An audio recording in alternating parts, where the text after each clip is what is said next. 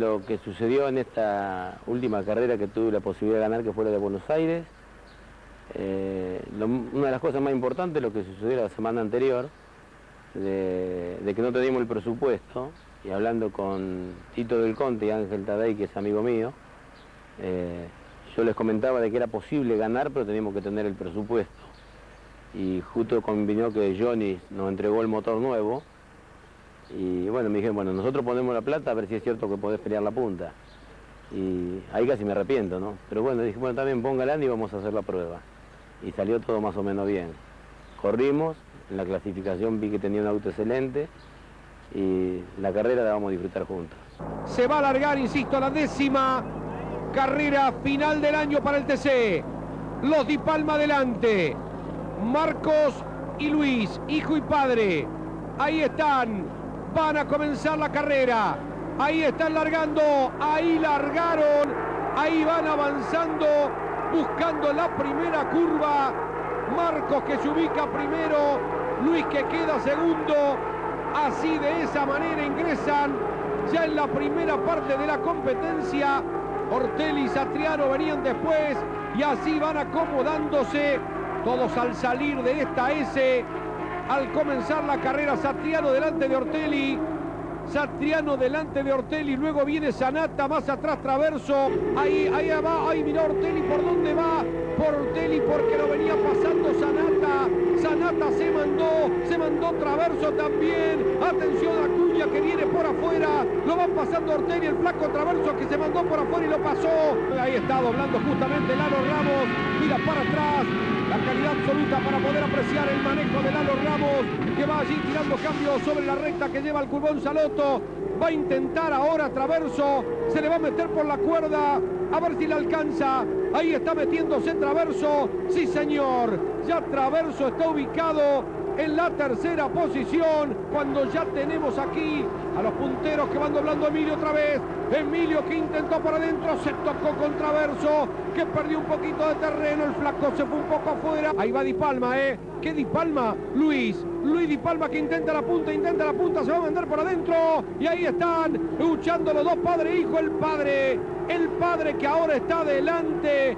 Luis Di Palma con el Ford va adelante, el Chevrolet queda segundo, Marquitos que viene pegado, ahí va, va Traverso, va Traverso otra vez, Traverso por la izquierda, lo está pasando como en la oportunidad anterior a Satriano y ahí otra vez Marquitos, otra vez Marcos está delante y Satriano, Satriano no lo dejó pasar, se mandó por adentro, estiró la frenada y el flaco no lo pudo pasar, vuelve a redictarse la lucha de la serie, ahora Vamos a ver cómo se plantea, si es que se pueden escapar. Marcos y Luis, Luis que quiere otra vez el primer lugar y lo consigue. Ahí va Traverso, ahora sí pudo antes del Curbón Saloto. Dobla Traverso antes de la máquina de Satriano. Sanata que está siempre muy cerquita cuando allí tenemos la salida de pista. Mirá Videle, uy, uy, qué fuerte que va, qué fuerte, uy, menos mal las gomas. Satriano, Satriano, que vuelve a pelear, ahí está, le ganó la posición a Juan María Traverso,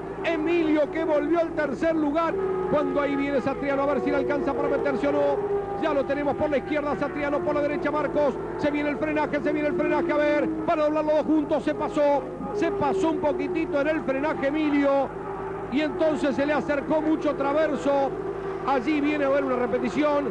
El toque de Solmi que venía cruzándose allí con Sinelli. Ahí se mete por adentro el Traverso, por adentro en el curvón. Ahí tiene que ceder Emilio. Tuvo que ceder Emilio Traverso. Pudo pasarlo, pero ahora tiene la recta opuesta.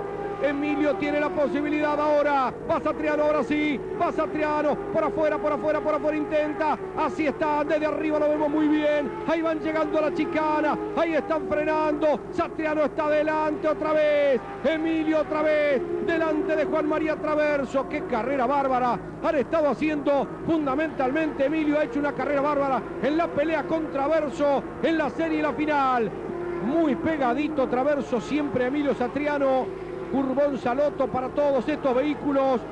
Ya van, atención, se mete, se mete, se mete Ortelli. Aprovechó Ortelli lo que hizo en la oportunidad anterior. Juan María Traverso con Satriano. Lo hizo ahora Ortelli con Traverso. Llegan para frenar. Ahí están girando sin tocarse. Van doblando entonces. Satriano intenta por afuera, ahora sí, ahora sí. Satriano por un lado y Ortelli por el otro. Lo pasaron a Marco Di Palma. Vamos a ver si Marco tiene problemas. Vamos a ver si Marco tiene problemas. Porque ahora Satriano está segundo. Queda tercero. Ahí pisan una parte de un pedazo de caucho. Quedó ahora ubicado en tercera posición Ortelli. Cuarto Marco Di Palma.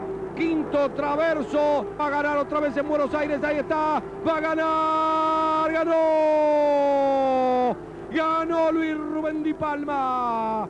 Ganó nuevamente en Buenos Aires. Y ahí viene el resto. Y ahí finalizan clasificados así, Daniel. Luis Di Palma, esta es su tercer victoria en el Autódromo de Buenos Aires. ¿Sabe cuándo fue la última? El 13 de marzo de 1966. Y está hecho un pibe, todavía sigue ganando el Loco Luis. Una victoria más para su historial. Segundo, Emilio Satriano a 4.30. Tercero, Ortelli a 4.64. Quedó cuarto, Marcos Di Palma, 6.48 quedó quinto Juan María Traverso, sexto fue del Barrio, séptimo el Pato Silva, octavo Fabián Acuña, noveno Minervino, décimo Ramos, undécimo Martínez, décimo segundo Salerno, décimo tercero Alifraco, décimo cuarto Miraldi, décimo quinto quedó Chaira Redolfi.